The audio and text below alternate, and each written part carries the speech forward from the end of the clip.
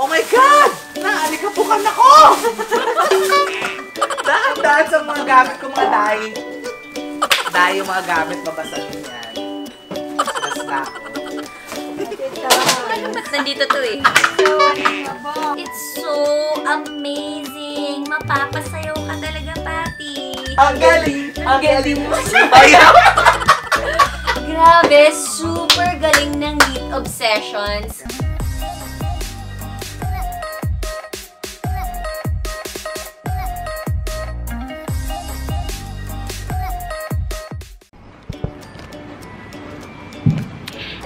Everybody! It's about time to let go. Alam nyo talaga, it's really, really hard to let go. Not the feelings, but yung mga gamit. Okay lang naman po ako. Wala naman po ako nararamdamang sadness or anything. Kasi may mga gamit talaga ako na hindi ko na ginagamit. Pero, nandyan lang siya sa mga, sa mga storage ko. Lalo na tayo, mga hoarder, mahirap magtapon ng gamit na, ah, magagamit pa natin to sa ganito. Pero hindi na kasi talaga nagiging kalat na lang siya. Now, to help me, oh my gosh, super, isa siyang fairy godmother ng lahat ng mga naglilinis. Siya si Miss Isa ng at Neat Obsessions. You can follow her sa Instagram and sa Facebook. Tutulungan niya ako to declutter, to let go some of the things. Tinulungan niya na actually ako sa kitchen ko before. But now, sabi ko, I think um, kailangan ko na yung tulong mo to help me arrange and let go some of my stuff dun sa aking kwarto. So, I'll bring you to my room dun sa baba.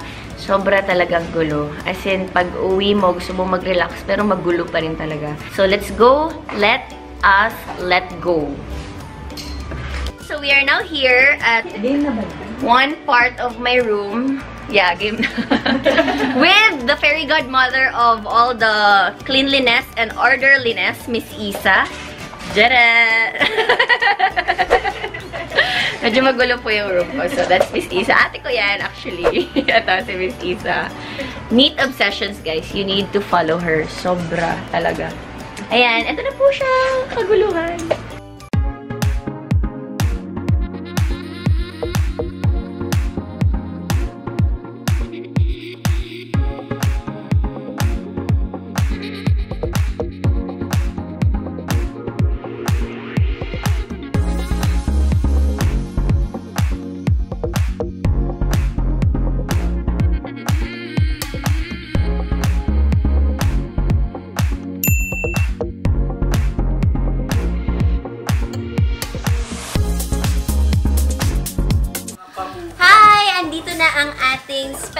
Guest for today. Not so special, medyo lang. Um, napakaganda, napakapayat, and ano, Miss Tisa. And super sipag. Kaya nandito siya today to help us. So, pasok! Special guest! Pakipasok! Hello, everybody! so, ma'am, ito na yung box. Pakipasok Kailang- yung box. Yung isa pang box. Nasaan na? Nasaan ba isang box? Ma'am, parang wala. Walis na lang. so, ito na yung box, ma'am. So, yung nahanap mo. Wow. So, anong gagawin natin? Iba talaga si Patty. Brings joy to everybody. Aww. Wow! Naiyak siya dahil sinasabihan siya ng ganyan. May ampaw para sa'yo. Oh Dahil God, dyan, para sa'yo. Sana may laman. Charot.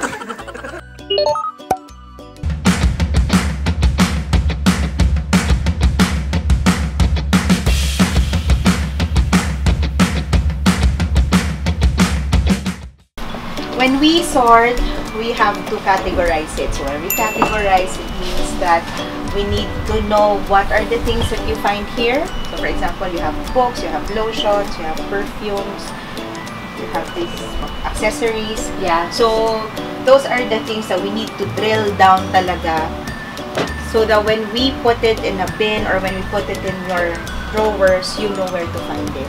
And then moving on, we will label each bins and each drawer so that it's easier for you to locate your stuff. Pwede ko yun. Oh, keep. Diba? Permanent. Oh my God! Ang tigas na! Through the years. Hindi na siya matanggal. Oh my God! May mga bagay na hindi mo, kailangan mo talaga talagang paghirapan alisin sa buhay mo. Hala, grabe. Cannot. Baka tum- Ah. Oh my God, parang Thor. Come on, Kat.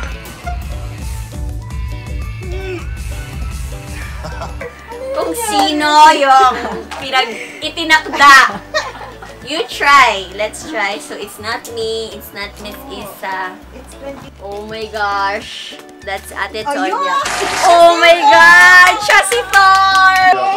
Oh my god! Chassis Farm! Oh, grabe! Dumikit na yung pintura. Just wanna share this story. Um, meron talaga akong dalawang camera. Yung isang camera, ayan! Meron talaga akong dalawang ganito. Ito yung pinagamit ko sa pang-vlog ko. Pag, ano, wala yung team ko. Pag ako lang mag-isa. Ito talaga camera ko, G7X. And then, ninakaw po siya. Grabe, ninakawan niya ako. And, iniwan niya yung memory card. So, gusto niya talaga itong unit na to. So, nawala na ako ng isa. Bumili pa ako ng isa pa ulit kasi I so love this camera. Not endorsing Canon, but I really love. Point and shoot lang kasi talaga yung gusto ko. Oh, keep this memory, not letting go. Bigay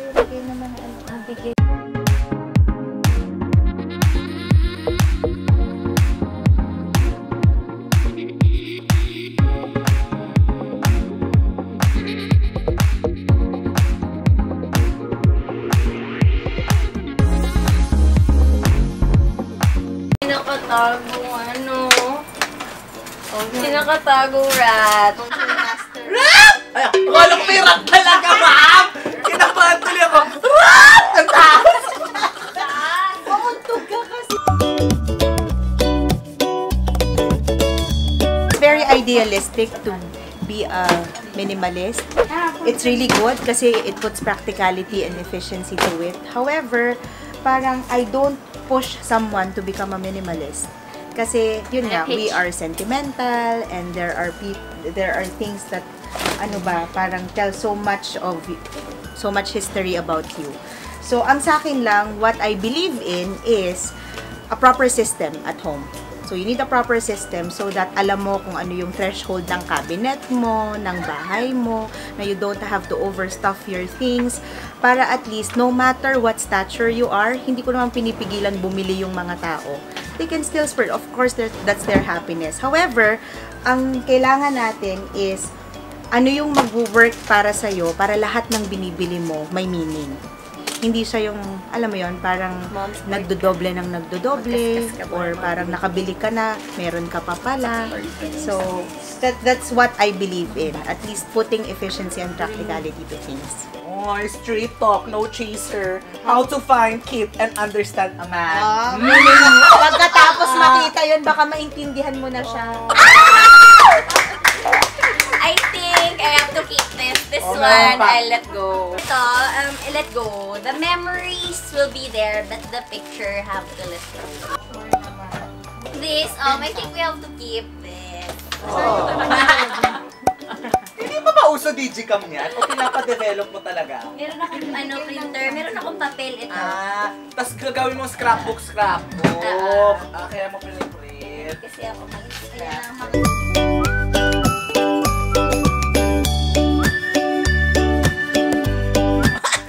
Ako talaga tinatanong. Ano, realization. Masaya. Go ka na, happy ka na kasi nga in-accept mo na yung mga mga mga kailangan mong i-accept, 'di ba? So, pag nag-let go, kailangan mo na rin mag-move forward and fresh start, ganon. Kasi hindi naman natatapos ang buhay dahil lang dun sa bagay na yun, 'di ba? May makikita kang mas better. Ganon! Lagay mo. Parang hindi gamit yung sinasabi niya. Mas better! Kunyari, eto, may makikita ko magandang frame!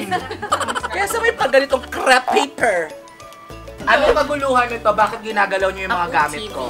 Kaya gusto gusto ko naglilinis eh, kasi hindi Yan. na harbat. Sa mga gamit. Sa mga gamit ko. Gamit mo. What if Oh my God! Naalikabukan ako! Dahan-dahan sa mga gamit ko, mga dahi.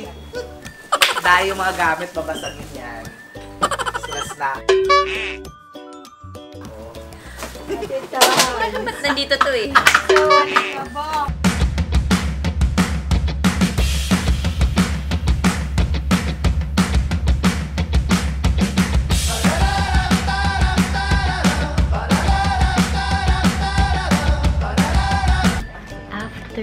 3 hours, kumustahin natin si Miss Isa. Miss Isa, how are you? How are you coping up? How are you after Me, I'm okay. Oh! Wow!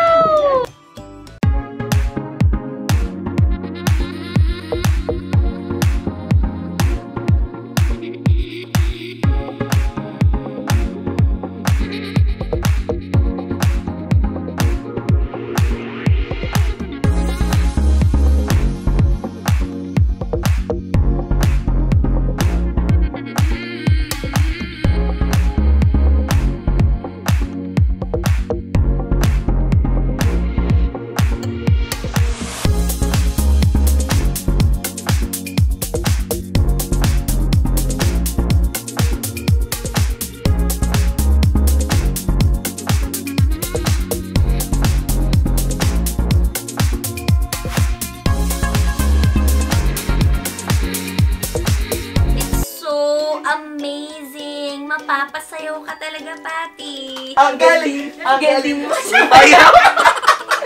Grabe, super galing ng Meat Obsessions.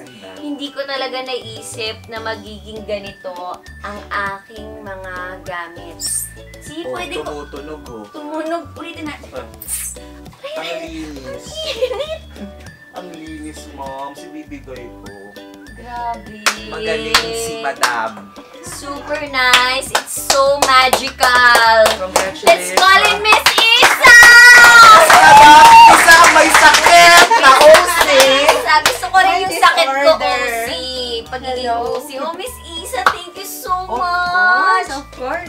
Ka? Yeah, nakailang hugas po siya ng kamay sa CR dahil sa sobrang alikabok. Pero in fairness, fresh pa din siya. Yeah. Gusto mong Ako paayos, pa no? mas nakagay pa. Meg mo kasi Kasi siya. ikaw na yung nag-ayos, di ba? Oo, true. Actually, ako talaga. Wala yung Napansin mo ba to. Kim? Oh, Yeah, ko, Grabe. pag na-OC siya. May mga Oh, meron yan, oh, pangalan. bracelets, Ah, pati yung loob Yes, nakalagay. lahat. Pa natin. Kanina, parang wala ng space yung mga gamit ko. Ngayon, nagkaroon na ng... Pwede ko na ilagay yung bag. Hindi ko na kailangan yung mga Tsaka umaliwala. No, because thanks to you, kasi nag-let go pa din ng mga gamit. I know it's so hard to let go of some of your So you important made it things. easy for me fix this area kasi nag-let go ka ng madaming bagay. Yes, kailangan mo talaga ng katulong, Tsaka pag masyado ng Someone to pabigat. push. True. Tsaka masyado Yeah. nang mabigat kailangan mo na i-let go. Oo. Masyado ng bagay. Kasi nga, dapat strong ka. Yeah, pag, pag nag-let go ka, hindi ka dapat ikaw lang mag-isa. Kailangan mo talaga ng mga Karamay. kasama. Si Miss Isa from Dino Dino Sessions Session. and at Hariap. Of course, kasi... And our angels here in the house. Nakita nyo naman with what happened dito sa aking, I don't know kung study area. Ito yung parang another area from the dressing room. So, ito yon Napunta na dito yung mga perfume. Photos! Nilagyan pa ni Miss Isa ng photos. So, mga pictures. Mga camera ko nandito. Instax. And gadgets. And nandito mga charger and everything. And camera. Yan, nandito yung camera ko, yung ilaw, and everything. And nandito yung book, hindi ko pa nababasa. Pending, pending. So, dito ko na ilalagay yung mga nakapilang books. And, ayan yung mga Buddha ko, Budapest. And this one, yung charger. Di ba? Ang galing lalagyan ng charger. And of course, see And yung mga perfume na wala ng box. And ito, yung lalagyan ng sunglasses, naging lalagyan siya ng contact lens. So amazing. Ito, yung mga achuchuchu na mga bagay-bagay. And this one, mga pilik mata. nalagay na siya sa tamang lagayan. Ito, yung mga lotion. Ang dami kong stress relief. Lagi ba ako stressed? Hindi. Gusto ko lang tong smell nito. And yung mga perfumes. And, eto may picture na. Kasi kanina, hindi ko alam kung Amerikana yung kamag-anak ko. Kung ang apelido ko ba ay ano, Londoner or American girl or Egyptian. Kasi iba yun nandito eh.